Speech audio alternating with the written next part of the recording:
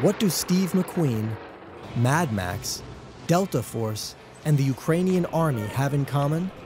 Well, for all the high tech weapons that Ukraine has gotten from the US and Europe, one of the most effective battlefield surprises has been these homemade dune buggies outfitted for war.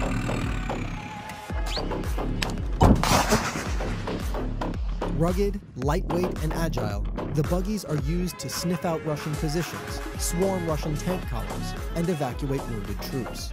Іде лапа сюди і крупний калібр. І э, воно виходить, що от йдуть э, танки в наступ, а ці з боків через овраги, через яри заходять і прикривають вже гасять.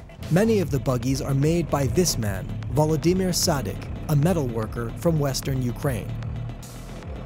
Before the war, his specialty was making gates, but in his spare time, he and his friends built dune buggies as a hobby. When Russia invaded last February, Sadyk had an idea. He offered some of the buggies to the Ukrainian army. The feedback was immediate. They wanted more. The rugged bantamweight buggies are perfect for Ukraine's rolling terrain, which often gets too muddy for other support vehicles. The first buggies, like Steve McQueen's famous Meyers Manx, were built in the early 1960s as no frills thrill machines, beloved by everyone from beach bums to Elvis. But their agility and speed attracted military attention too. Since the 1980s, the US Army has used buggy style attack vehicles of its own, deploying them in Kuwait, Iraq, and Afghanistan. To date, Sadyk's company, Vols, has built and delivered almost 60 buggies to the Army. Sadik and his crew of seven men rely heavily on crowdfunding to source parts and materials and to pay his teams small salaries.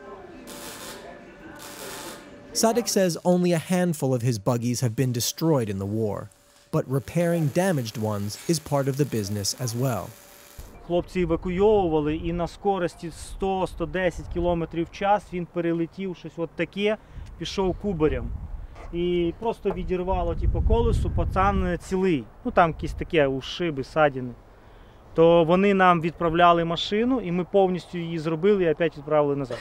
Sadyk sells his buggies to the armed forces for between $6,000 and $10,000 apiece, depending on how they're kitted out.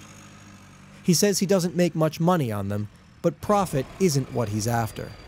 От мінімум тільки для того, щоб ну, чим побільше їх зробити, успіти зараз, коли їх треба просто ну, чим побільше. For GZERO Media, I'm Alex Kliment.